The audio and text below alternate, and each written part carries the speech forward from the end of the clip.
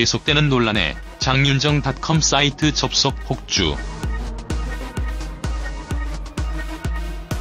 가수 장윤정의 가정사 논란이 끊이지 않고 있다.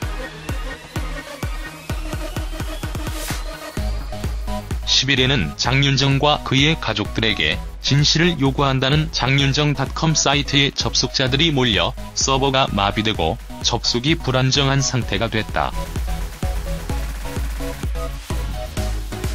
지난달 26일 장윤정의 이모 전모 씨가 장윤정의 어머니 과거 행적을 폭로하는 글을 인터넷에 올리면서 논란은 더욱 가중되고 있는 상황이다. 전모 씨는 이 글에서 장윤정의 어머니가 장윤정이 번 돈을 도박으로 탕진했고 장윤정을 어릴 때부터 유흥업소에 일하게 하며 장윤정의 할머니를 폭행하기도 했다고 폭로했다.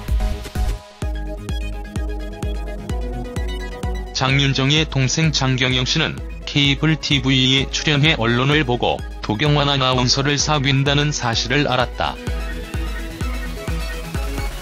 내가 알던 사람과 달랐다는 등의 발언을 해 논란을 증폭시켰다.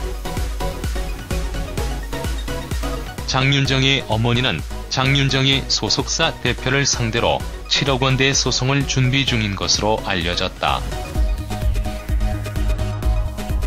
이런 논란 속에 10일에는 장윤정이 재산 탕진에 대한 진실, 동생 장경영과의 사건 규명을 위해 만들어졌다는 장윤정닷컴 사이트의 서버가 마비됐다. 과거 학력 논란 의혹에 휩싸였었던 가수 타블로에게 진실을 요구한다는 타즈뉴 사이트를 시작으로 성폭행 의혹을 받았던 배우 박시후에게 진실을 요구한다는 박시후닷컴까지 연예인들의 사생활 논란이 불거질 때마다 비슷한 사이트들도 등장하고 있다. 장윤정과 그의 동생 장경영을 향해 재산 탕진에 대한 진실 공방, 부모님 별거 이유 장윤정은 외가와 무슨 일이 있었는가 등 세 가지에 대한 설명을 요구하는 장윤정닷컴 사이트는 지난 5월 등장했으나 뒤늦게 관심을 받고 있다.